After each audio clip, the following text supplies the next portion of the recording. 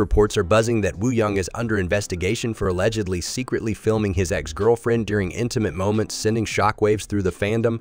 But that's not all. Brace yourselves for a roller coaster of jaw-dropping details.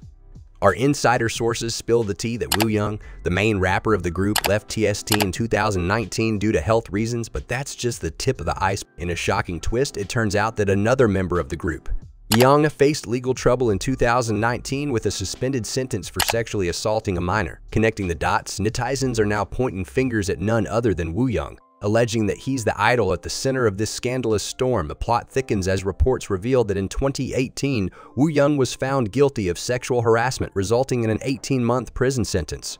Drama to drama doesn't get juicier than this. Fans are left in disbelief as they piece together the puzzle of Wooyoung's tumultuous journey from K-pop stardom to legal turmoil. As, as the K-pop community grapples with the shocking revelations, one question lingers, is this the downfall of a once beloved idol, or will Wooyoung emerge from the storm stronger than ever? Only time will tell, but one thing's for sure, the K-pop world will never be the same again. Stay tuned for more jaw-dropping updates as the scandal unfolds. Let us know what you think in the comments down below.